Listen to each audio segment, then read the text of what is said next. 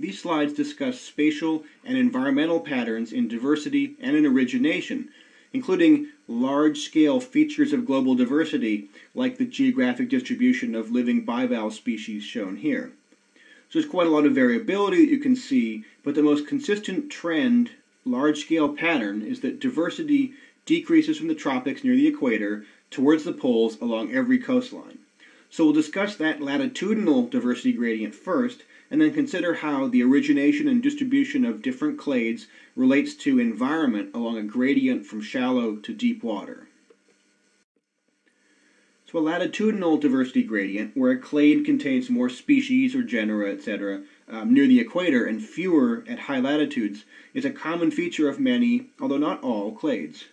So the example illustrated here from marine bivalves shows their diversity along the world's coastlines, and all of them have this typical latitudinal diversity gradient that peaks near, although not exactly at the equator.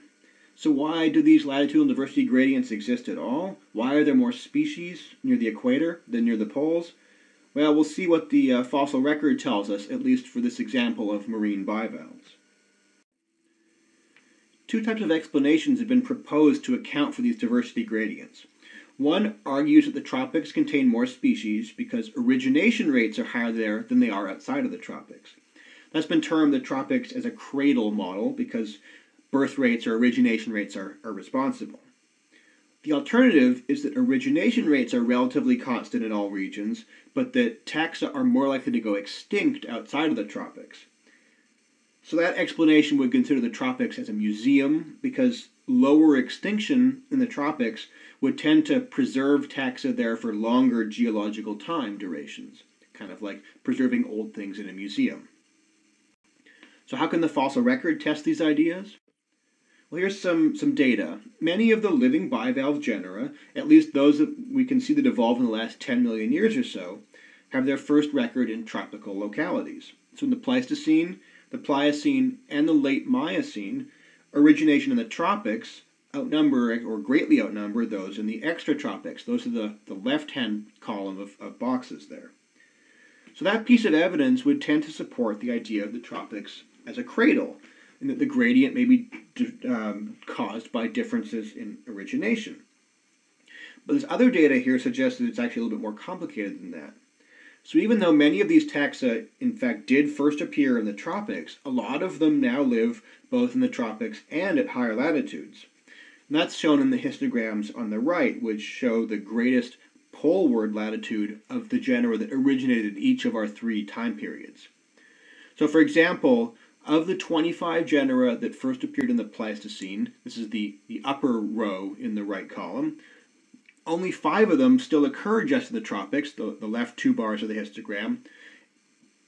And the other 20 have ranges that extend from the tropics to regions outside of there. One of them even ranges as far as 45 degrees north or south. The ages of bivalve genera also provide additional evidence. So, on average, genera that live at the poles, like in the Arctic or the Antarctic, tend to have longer geological durations.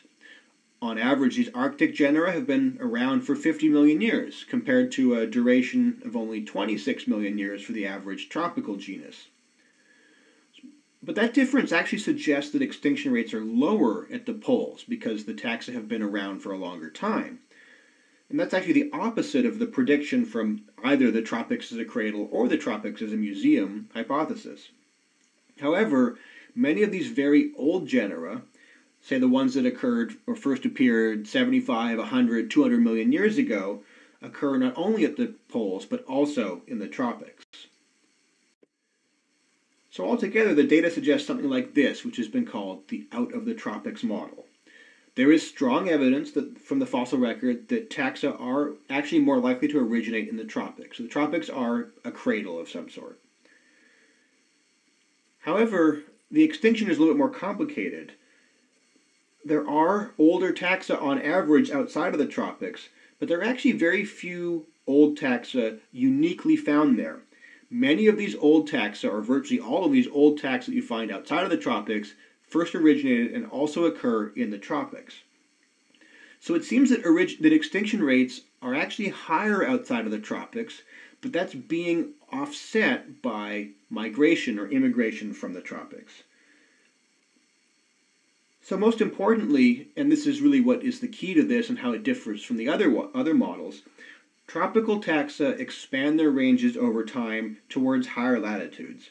So that explains both the modern distribution, where formerly tropical taxa now live both in the tropics and outside of the tropics, and it also explains why, on average, extratropical taxa are older, because there's a bit of a time lag between the time a clade originates and the time that it expands its range to the extratropical areas.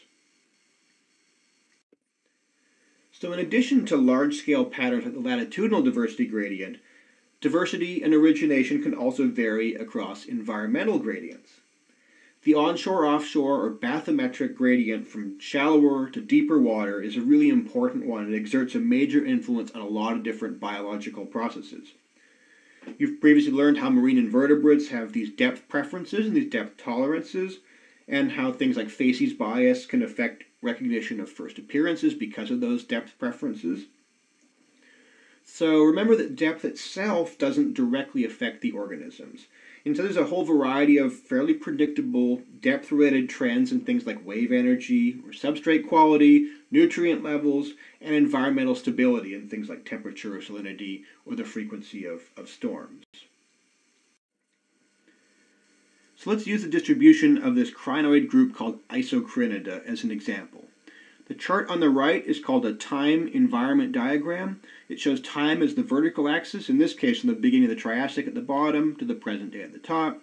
And it shows the onshore to offshore environmental spectrum as the horizontal axis from the shallowest water near shore on the right to the deeper water slope and basin on the left. Time environment diagram uh, combinations or time environment combinations that contain fossils of these crinoids are shaded in black and the empty or the white boxes have no data at all. So because there are no fossils known, it's not really possible to know whether the crinoids would have lived there or whether they weren't there. The dotted boxes indicate that crinoids probably weren't present. Other fossils are known from those time environment combinations, but crinoids have never been found. So these isocrinids have this sort of history. They first appear in these onshore habitats in the Triassic, but don't seem to be present in deeper water environments.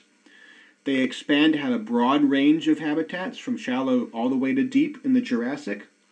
And they finally become restricted only to these offshore habitats. They're absent from shallower water environments in the later part of the Cretaceous and especially in the Cenozoic.